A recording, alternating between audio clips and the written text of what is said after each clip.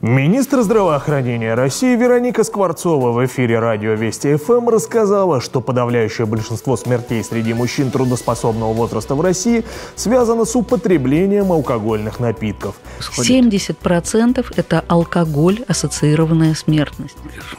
Это алкоголь, ассоциированная смертность, причем не только острая. Слава богу, смертность острая, она значительно снизилась за счет того, что изменился рынок алкогольных напитков, меньше суррогатов и э, ядов просто, которые люди потребляют.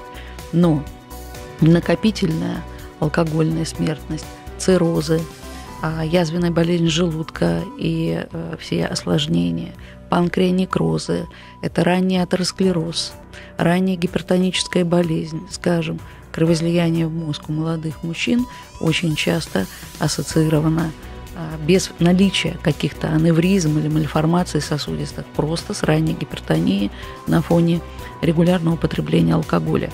При этом Скворцова отметила, что в последнее время наблюдается снижение уровня смертности из-за употребления алкоголя. Это произошло в связи с уменьшением количества суррогатной продукции на рынке. Глава комиссии здравоохранения Людмила Косткина согласна с ней и считает, что в России уже стали меньше пить и меньше курить за последние 10 лет. По мнению Косткиной, национальный проект здравоохранения поможет в борьбе с высокой смертностью.